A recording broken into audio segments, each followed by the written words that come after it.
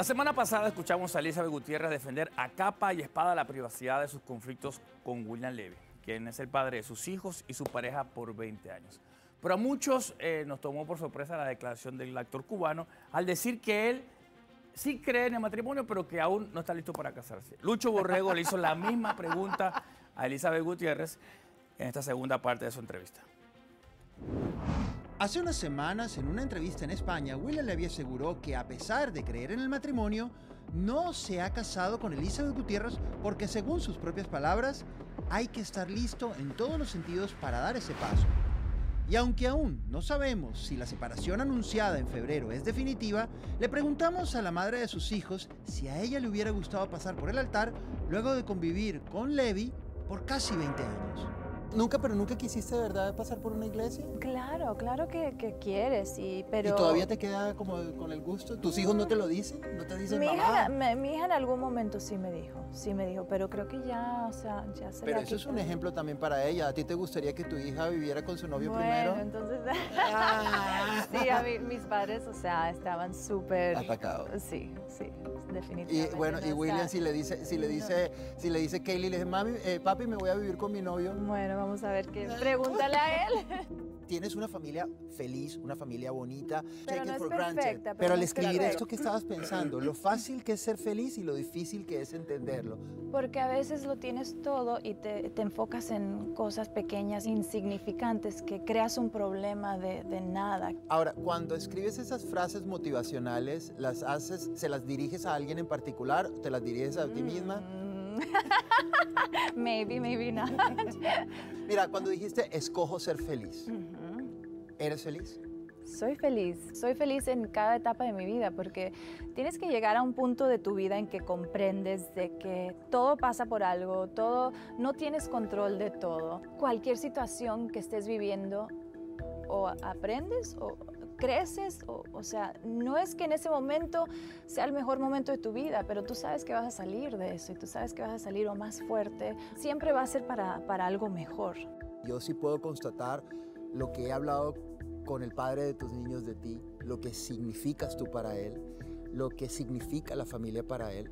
Te noté muy sensible porque sé que hay un dejo de nostalgia. Sí, o sea, hablar de mis hijos siempre es un tema muy sensible y quiero ser todo para ellos. Yo quiero que tú me hables de Christopher Alexander. Él es un deportista natural y tuvo un accidente en un, en un carrito de golf donde quedó gravemente herido y donde tú prácticamente muchas noches sin dormir, el papá también. ¿Cómo fue ese momento y lo que hizo, digamos, en términos familiares, una situación de drama como esta en la unión y de pronto, ¿por qué no? En las discusiones de los, los porqués y, las, y no, los nunca reclamos. hubo, no, jamás, jamás, jamás, jamás hubo discusiones, ni reclamos, ni nada. Era agarrémonos de, de la mano y salgamos de esto juntos. O sea, nunca, nunca fue un tema de discusión y ni de culpabilidad, ni nada de eso, mucho menos. O sea, era 100% nuestra vida, eh, era él. O sea, dormía- ¿Temiste perderlo? No perderlo, pero sí, eh, gracias a Dios que tiene, que, está, que está sano y, fuerte. Y los cuatro, de verdad que, que fue un sacrificio muy fuerte que William eh, no quería dejar en ese momento. Apenas había pasado, creo que hacía un mes y él se tuvo que ir a Colombia, entonces fue muy fuerte también para él eh, tener que irse y dejar, o sea, a Christopher y, y a mí al cargo de él, porque literal yo lo tenía que cargar, bueno, William lo tenía que cargar al carro y después me tocó a mí, porque no podía pararse él en sus, en sus piernas, de verdad. El matrimonio garantía de que, para mí, ni el matrimonio, ni la unión libre, ni la soltería te garantizan nada. El matrimonio es una palabra que dos personas le, le dan sentido, deciden darle sentido cuando crean juntos y en el momento en el que dejan de crear y el momento en el que dejan de mirar hacia la misma meta en común, entonces existen infidelidades u otras decisiones que hacen acabar con todo. Yo si a mí me preguntas, creo en el matrimonio, pero en el real, en el que tuvieron mis abuelos y en el que tienen mis padres.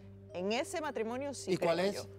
O sea, El, no, ma- digo, el matrimonio que a pesar de los conflictos, que a pesar de las que adversidades, casarse. decides estar tienen un juntos compromiso y porque y fijo. cuando digo y cuando digo que una misma meta en común, tienen que querer lo mismo los dos. Si Claro. uno ya no se quiere casar, ya no es una misma meta en común. Eso que tú dices es muy cierto, de verdad, porque, bueno, yo también creo en el matrimonio de mis papás, que llevan más de 40 años de casados, en el de mis abuelos, que duraron más de 50 y pico, pero también siento como que a lo mejor ahorita, y a lo mejor también me incluyo, o sea, yo también soy divorciada, siento como que eh, el compromiso que ellos eligieron tener antes era de verdad, ante la adversidad, ante la enfermedad, ante la pobreza, ante la riqueza, ante todo lo que pasara, infidelidades, lo que fuera, yo, sabrá Dios que habrán vivido ellos como pareja que tampoco te cuentan porque eres la hija. Fíjense Para que yo- Lo que pasa es que ahora, hoy en día, el no matrimonio de alguna manera se ha convertido en un negocio, ¿no? Bueno, Te queda o sea, la mitad, antes la en el casa- negocio de la mitad. O sea, garantía de que apellido para tus hijos y te queda la mitad.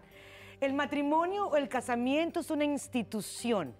Es la base de la sociedad. Muy bien dicho. La sociedad es la que crea las comunidades y los estados y la nación entera o el país. El casamiento y el matrimonio tiene que respetarse. Está bien, queremos relaciones libres para hacer lo que nos dé la gana. Este señor tiene 20 años casado y no está listo para casarse. Hello. Mira. Ella lo maneja, no he terminado, papá. Ella lo maneja bastante bien. Ella sabe quién es su marido. Ella sabe quién es el papá de sus hijos. Eso es problema de ellos. Ahora bien, no podemos erradicar de la historia de la humanidad el matrimonio como tal y el casamiento. Porque el día que eso deje de existir, la sociedad se va para se va a destruir, la sociedad se va a desboronar.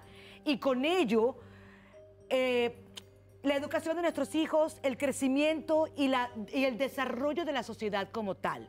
Suena muy rico vivir en libertinaje. Vivo hoy cinco años con uno, mañana no me sirvió o es mala cama y lo cambio por uno de diez. ¿Pero qué? El matrimonio la- tiene que estar ahí. Alex. Pero la familia hoy en día puede ser de pronto dos hombres, dos- es decir, yo creo que estás hablando de la sociedad de, de pronto eh, Estoy hablando del casamiento como tal, el matrimonio. Puede ser dos chivos, dos Yo creo burros, que el dos matrimonio vacas, es una dos palabra. Es una palabra que viene de, de- de la iglesia, que es algo que nos han tratado de imponer, de, de atar. Oh. Yo creo en esa familia que sí que ha creado William Levy con, con Elizabeth, que es un proyecto de futuro, eh, es una familia de verdad que han sabido creer, criar a sus hijos Pero ¿cuál- cuál es tu pro- independientemente cuál es de tu verdad problema con el- de un con- papel y de algo que nos ¿Cuál ha es tu tratado de problema imponer la con el religión. Yo no he matrimonio mami. bíblico como tal? En el casamiento bíblico como tal. ¿Te hinca, te arde, te molesta?